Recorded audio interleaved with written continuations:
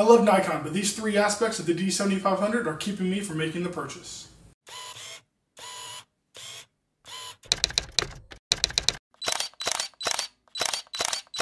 The specs and the internal guts of the D7500 are actually pretty solid.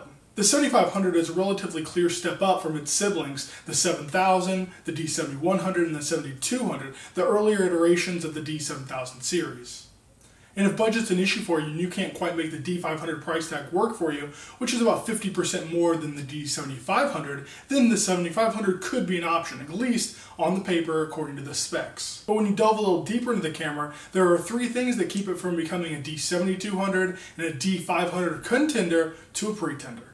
First reason, it only has one card slot. Personally, I'm a fan of dual SD card slots. That's what the, all the 7000 series cameras have been. The 7000, 7100, and the 7200.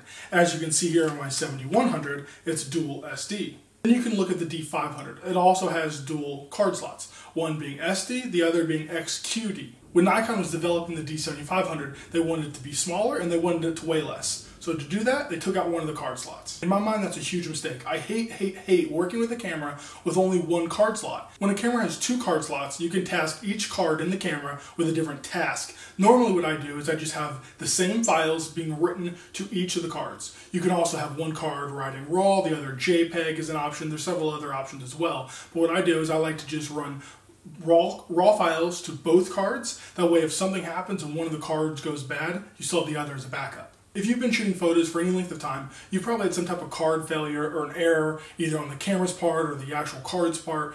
It has nothing to do with you. Those just failed. Or you'll have a situation where it's user error, and that's happened to me before, to where I've deleted files that haven't been backed up, and that's no good. But when you have two card slots, it's a load off your mind, knowing that one of them can fail and the other one will be perfectly fine. Now, how often does that happen? It's very, very rare, once every two, three, four, five years.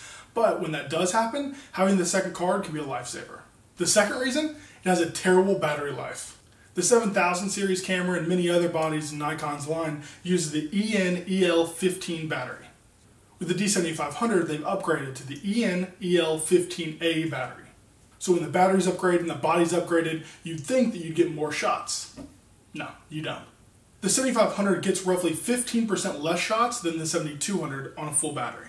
And when compared to a D500, it gets roughly 30% less shots. Having less shots per battery, it sucks, but it's not normally too big of a deal. You can just attach a battery grip, allows two batteries, and it normally fixes the issue.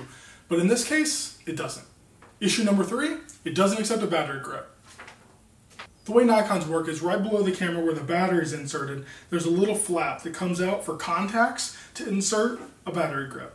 The body grip on either the Nikon or the off-brand third-party grip will have contacts here that meet straight up with the camera body, like so. That allows for a battery to be inserted into the body itself, and then one to be inserted into the battery grip as well, double the power. Unfortunately, for reasons that I just can't understand, Nikon failed to put the contacts for the battery grip on the bottom of their D7500 body. That doesn't completely take a battery grip out of the question down the road. What could happen is they could have one to where the battery door comes off and it's inserted that way. But as of now, a third party hasn't made such a grip. So if you're in the market for a body with a grip, mark the 7500 off your list. Other than those three things, the D7500 seems to be a great body. Unfortunately, at least for me, two of those three being the dual card slot and the battery grip being able to be attached are absolutely huge.